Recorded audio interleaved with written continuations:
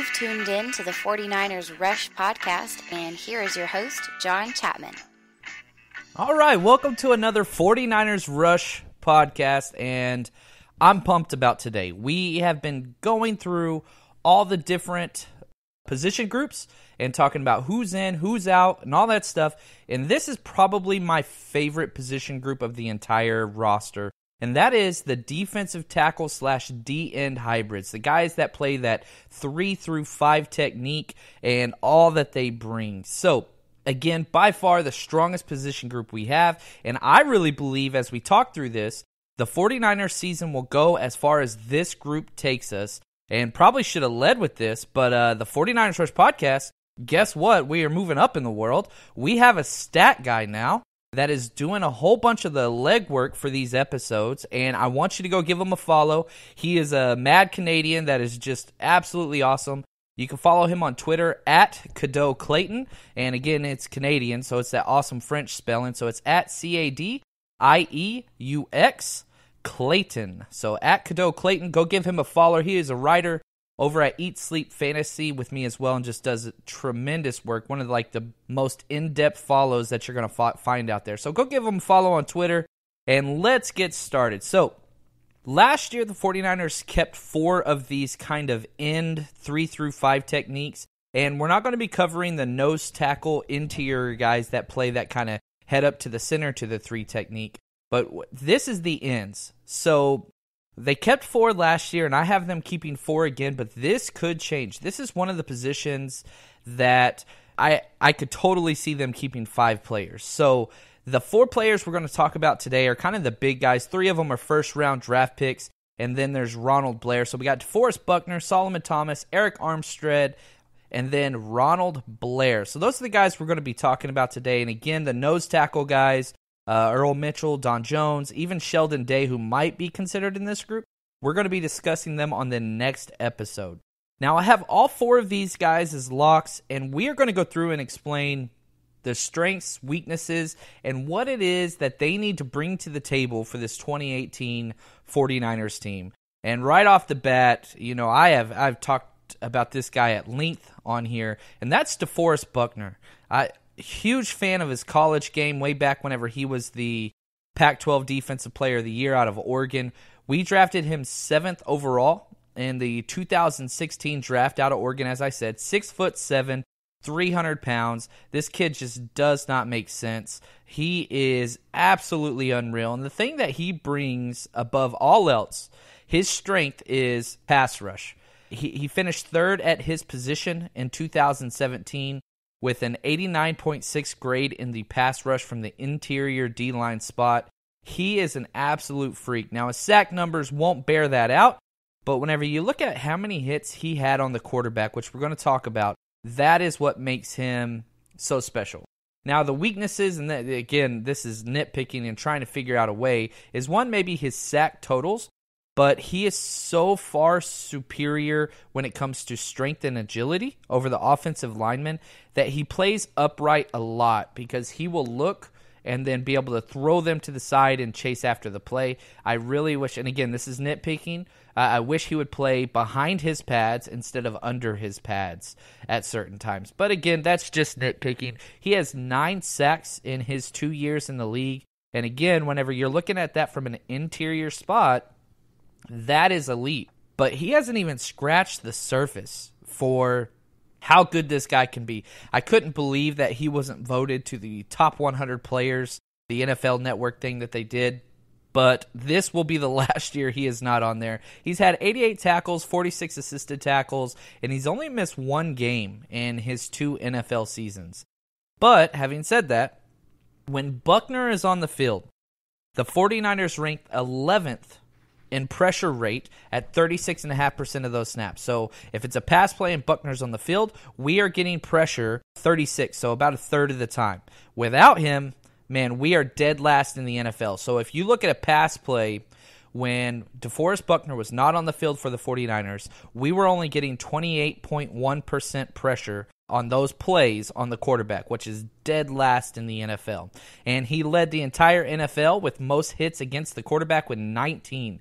And that's the thing. he's getting so close, but we have such a lack of edge pressure that he will get great push up the middle, and the quarterback can just escape out very, very easily because there's no edge pressure. So it, one of the great things about football is it is the ultimate team sport. Uh, it's one of the few that if you have the best player out there, that doesn't guarantee you a win. You have to play as a team, and I'm just really excited and hope that the people around DeForest Buckner can step their game up to his level. Now, his physical skills, they're nothing that's really special besides his size. Uh, finished top 15% for 40 yard dash and speed score among his position. Now, his contract isn't great, but it's not bad. We did give him the seventh overall pick.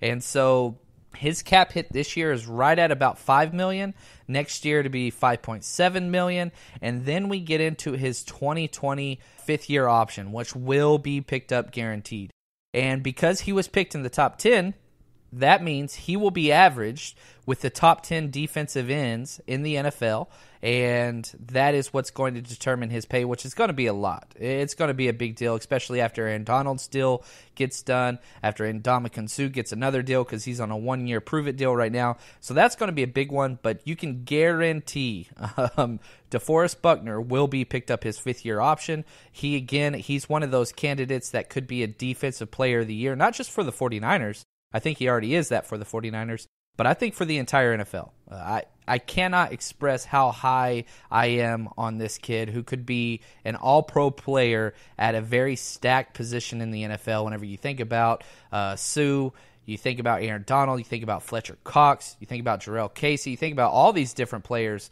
He is in that category and perhaps could be better than all of them. Aaron Donald's probably the one that's lone above right now, but he's not far behind. Uh, he is an absolute beast whenever it comes to playing uh, snaps 863 defensive snaps, and he led all defensive tackles through the last two years in most snaps taken. And that's DeForest Buckner. Now, the crazy thing is, last year he only had three sacks, and he is the. Him and Solomon Thomas both had three sacks last year. Those are the leading sack getters on our team last year that are carried over onto our roster for 2018. Dumervil led the team with six and a half. But again, we are devoid, our defense, of people that get sacks. And we need to him to get closer to that five to six sack range, which might not sound like a lot, but again, you have to understand he is doing this up the middle, interior pressure. He's not doing this going off the side with speed. He is fighting against double teams on a lot of plays. So that's DeForest Buckner. Now let's jump to our rookie from last year, Solomon Thomas six foot two, 280. And th- this measurement, it's very interesting as we go through these positions. You see things that, whether that's John Lynch, Kyle Shanahan, or Robert Saleh in this defense, he loves certain measurements. And this 280 number, he likes these hybrid players that fit 280. And we got a lot of them. And if you, you go through our roster, and you look at what we got, we've got about four guys that are in that 280 range. Now, we drafted him third overall last year. I wasn't pleased with the pick. I thought it was a safe pick. But the fact that we traded back from the second overall to the third overall with the Bears, and we picked up a whole bunch of draft capital that we used to trade back up and get Reuben Foster, I think it was a great play very, very happy with how that worked out. Now, Solomon Thomas is only 22 years old. People don't understand. This kid's super, super young. And we got him out of Stanford last year. Now, the strengths of this guy, I almost want to put an asterisk by it because he has strengths in his game as an interior player. And whenever you put him on the outside like the 49ers do, a lot of those strengths dissipate and you do not see them on film. However, he is a guy that gets in the backfield. He plays the majority of his snaps in the backfield. He is not a guy that gets stalemated. He has insane push, great technique, and is beyond explosive. Whenever he's on the outside, however, he loses some of that. He's very undersized to be a defensive end, and he gets out of control a lot. He is one of those guys that just goes so fast and so hard on every play he might be one of the league leaders in getting his hands on the quarterback or hands on the ball carrier, but he doesn't always bring them down. And this was a major critique coming out of college as well in Stanford. He would get back there and it looked like he's going to have a sack easy, but the quarterback would step up or spin out, and he just he flies off, which is a bummer. Again, he's a tweener.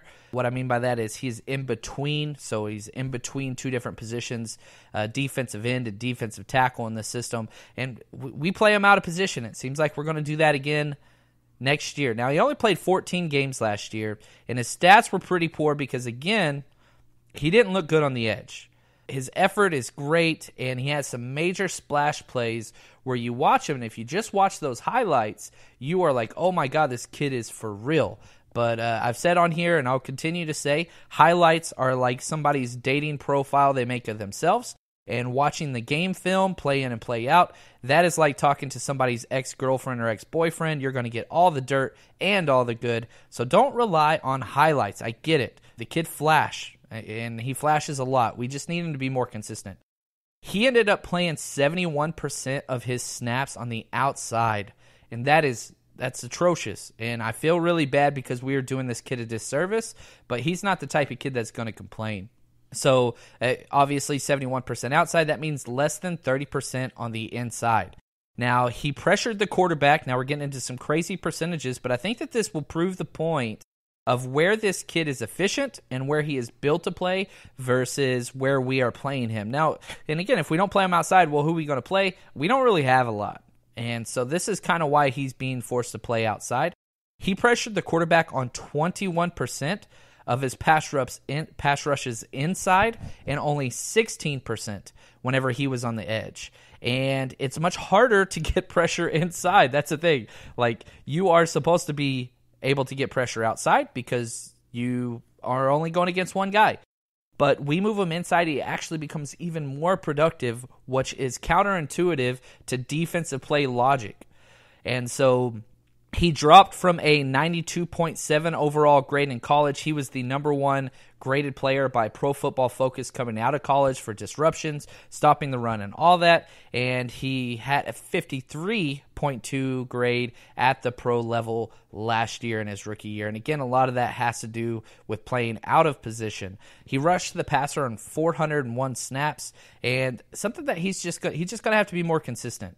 One of the things that really bothered me is he is great in the run game and he plays with a lot of energy, super high motor guy, but he's not calm and collected on the outside whenever there's a toss play or a zone stretch play. He got uh, he got reached several times and gave up outside contain several times. And one of our least efficient defensive kind of setups was when him and Jaquiski Tartt were on the same side and Jaquiski Tartt would walk up into the box, you had two guys that are very, very similar in how they play, lights out, great effort, but not very containment oriented. And a lot of big plays that we gave up were because those two guys were to the same side. So, something that you just might want to look at next year as you are watching the games. If you see those two guys next to each other, just take a deep breath and say, oh man, this is not going to go well. But uh, he's an athletic freak for what he is at 6'2, 280. Uh, had the best three cone time uh, for all defensive linemen. Ran a 4.69 in the 40 and a 35 inch vertical at 280 pounds is just it's nuts.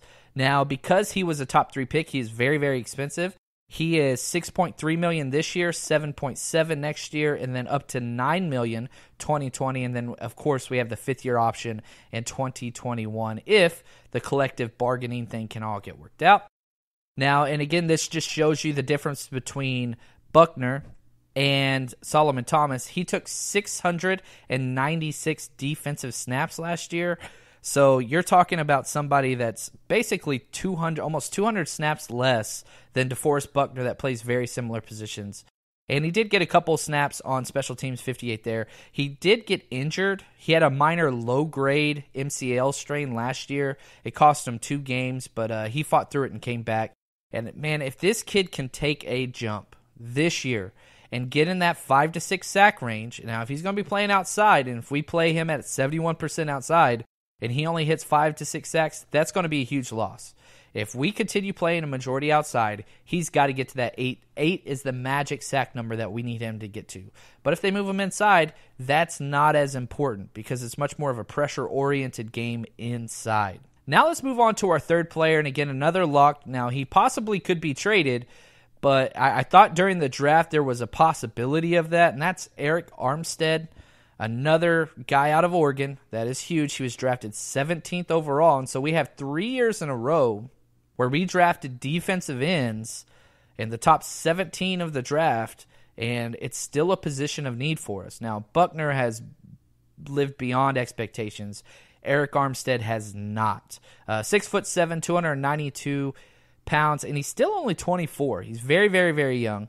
And the thing with him is he is very quick for his size, explosive and versatile. He could play all four defensive lineman spots, but again, very inconsistent and very I guess undurable. I don't even think that's a word. He's not durable. He gets injured way too much. He's only played 30 games in his NFL career, and that's not okay. His first year, he played them all, and he's only got 16 combined games the last two years. So, back to back years, he has missed about half the season. Now, I will say this he has 77 total QB pressures in those 30 games that he has played and he's the only defensive lineman that we have left over from 2015. So you have a complete turnover in just two short years since our new coaching staff has showed up. Uh, PFF ranked him as the most productive pass rushing 3 4 D end the last two years, and now we're changing out of that system, and we haven't really seen him on the field enough to know how this transaction and playing a different position is going to work for him. Uh, last year was not great. Had a one and a half sacks. That's not okay. And six sacks is a career after three years. Again, that's kind of who this guy is turning into be. So he's got to step his game up. Again, I, I was kind of hoping we would trade him, but I don't think you can get a return on value. He's a guy that will start for us and play a lot of snaps if he is healthy. And he still has that high ceiling. He just hasn't hit it. So if he is a guy that could step up, and I know I'm using these numbers a lot, but if he gets over six sacks this year, man, I, I think it could be special. And we already picked up his fifth year option. Now, again, will he play with us? Who knows? He is. He's got a three point one million dollar against the cap this year, and next year he will be making close to a little over nine million because we picked up that option. That number could change a little bit because it averages out a little bit differently. But again, we picked up his option. We'll just kind of see what happens. That guarantees him through injury, not necessarily through other different avenues where he could not receive that full compensation. He only played 300 snaps for us last year, and his main problem has been a shoulder injury. Going all the way back to 2015, he was listed as probable or questionable for about eight games, all because of this shoulder. And then the whole offseason takes place. He, he comes back, and then he messed it up real bad and had to go to IR in 2016. Well, he rested for a year and a half so we were hoping, man, this is going to be great. He comes back, then he breaks his hand. And he tried to play through it, but he just wasn't productive. So he went on IR again last year. So anytime you have back to back seasons where you uh, are on IR, that's not okay. The, the front office for the 49ers has shown if you are not dependable through injury, you're not going to be sticking around. So that's what that is. Now I want to get to a guy I am super high on, and that is Ronald Blair. Six foot four, 270 pounds. He's only 25 years old again. So, again, you, these ages that we have for these players Solomon Thomas, he's 22. DeForest Buckner, he is 25, and our oldest, which is just insane. Then we get Arik Armstead, 24. Ronald Blair, 25. We don't have a player on the defensive line that plays that in spot that's over 25. We drafted him 142nd overall in the fifth round out of Appalachian State, the Fighting Mountaineers. Man, I love Appalachian State guys. They, uh, they they just seem to want it and they seem to play, and that's who he is. He has an incredible motor and is beyond powerful. He's kind of like a wrestler type build where he just he's very reliable and a very physical tackler and he can play all four of the defensive line positions. I'd have no problem with him at nose tackle because he plays with great leverage and great hands. Now, he is a little bit vulnerable against the run. Uh, he does get overpowered in kind of double teams and base blocking situations, and he doesn't change direction quickly, but he makes up for that with his insane motor. So, absolutely love this kid. He's only started two games for us in his career, but he has been He's backed up nearly every spot on the defensive line. He has five career sacks. He got injured last year, which was a bummer, but I, I, really do think that this is a guy who might not start for us, but again, I can see him pushing close to 400 to 500 defensive snaps. Now, I will say this his physical skill set limits him big time. But once you put on the tape and he is on the field, it's just hard to take him off. He he's a guy that registers as a positive on a majority of plays, and he just seems to be a guy that gets it if he can just stay on the field. That that's kind of what we need here. His contract is super super cheap. Um, the cap hit for the next two years, uh, just under seven hundred thousand this year, and then under eight hundred thousand next year. So we still have him at two years on a super cheap deal, and that's one of the big reasons why I just cannot see him getting cut. Is if you cut him, you got to bring in somebody else and or promote somebody, which we'll talk about some of those options. But he is my last lock for this roster. And again, he had that big thumb injury that hurt him last year. Um, he just couldn't close his hand very well, but that should be fine. And I really do think that he's going to be a player that's going to excel and play a lot of special team snaps as well. Now, the guys that are outside looking in, and one of these is a rookie draft round draft pick this year, and that's Julian Taylor, a 23 year old rookie out of the seventh round out of the Temple, the Fighting Owls. Now, again, 6'5, 280. We keep seeing this 280. Uh, it just seems to be the number that just gets our coaches excited. Strengths, he's very athletic and powerful. He's a guy that explodes off tape, and his testing definitely attributes to that. He was the second rated SPARQ athlete. That was a D lineman. And what SPARQ is, is it basically measures all of your measurements like 40, vertical, shuttle, and all these things, and it adjusts that towards your height and weight. And it comes up with a score that basically says how athletic you are for your size. And so he was the number two most athletic by this measurement, just next to Taven Bryan, the defensive tackle out of Florida. He went in the first round to Jacksonville, I think around pick 28 or so. Uh, not sure about the exact pick, but I think it was pick 28. Anyway, it just puts you. it, what it does is it paints a picture for what this guy's ceiling is. And we did this last year. We took another super high SPARQ athlete last year in the seventh round with Adrian Colbert, and now he's going to be our starting free safety. So in the late rounds, we continue to see John Lynch do this where he takes these high risk gambles, but we're not paying that much. It's a seventh round pick. Seventh round picks usually are about a 50 50 chance to make a roster depending on how young and how good your lineup is. And the thing for Julian Taylor, this is the strongest position group that we have. And so if he is going to fight in and get a spot, I don't think he takes one of these four off the roster. I think they are safe. I think he'll take a spot from a nose tackle. So that's what we're going to be talking about next episode. Or we're going to highlight the nose tackles, and there's a couple guys that are kind of on the line there. And if Julian Taylor can impress this year, the rookie out of Temple this year and seventh round pick, I think he takes one of their spots because he could play some of that. He's six five. Now the weaknesses to his game, he has had it. He's only played one year because of injuries. So out of four years in college, he kind of sat back his first year. Then he tore his ACL. Then he had surgery again. Then he had some hip issues. And so he's only played one year. Now, that year he played, he was legit but he's going to have to make it through training camp and impress because to get him on the field, you're taking some studs off. Um, I would not be surprised if we waive him and try to find a way to keep him uh, on our practice squad or something along those lines. But he is one that, again, I have him as a 50 50 making the roster right now. We will see. And then our other pick, Kentavius Street. We got him in the fourth round. He's only 21 years old, and his age makes a difference for us because we got him in the fourth round out of NC State. He's a defensive end, 6'2", 280. Ding, ding, ding, ding, ding. that, that I don't understand the 280 significance, but whenever you have four out of eight guys with that exact same weight at the exact same position, I think we're profiling a little bit too much, but that's okay. But the problem with him is he blew his ACL whenever he was doing a pre-draft workout in April. So there is 0% chance that this kid can make the roster this year. He will be on injured reserve. And a lot of the fan base got really, really upset with this pick because, you know, we just got rid of Trent Baalke. I, I shouldn't even said his name. Our past GM, let me say that. he loved taking all these ACL players, and they never panned out. They never panned out, and so that that was kind of rough. And so whenever we picked him in the fourth round again, people got upset.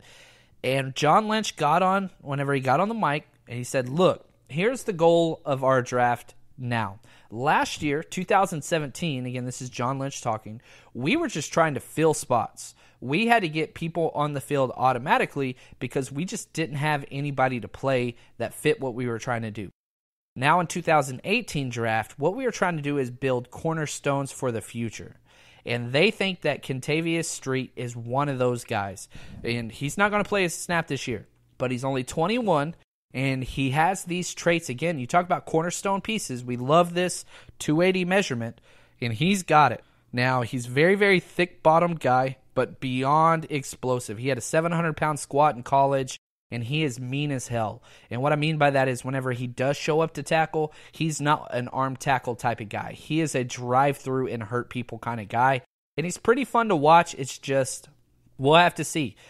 It's already a deep position, and I really do believe that the eventual idea here is he's going to take Arik Armstead's spot on our roster and our starting lineup. That is what they're hoping. And they spent a fourth round pick on this. So if he comes out and is our starting right side defensive end next year, then this would be a great play. But again, we're not going to know that. And the good thing is he will be an IR candidate. So he's a guy that we will stash. And we'll just have to wait and see what happens next year with him because he's not going to be playing this year. Just not going to happen. Now, hopefully, you enjoyed this episode. And as I said again, make sure you go follow our new stat guy. He is helping out a lot with the 49ers Rush podcast. And he's just a cool guy anyway. I'll give it to him. He's a Canadian, so y'all go give him a hard time. Uh, that's at Cadieux Clayton, C A D I E U X Clayton. And stay strong, faithful.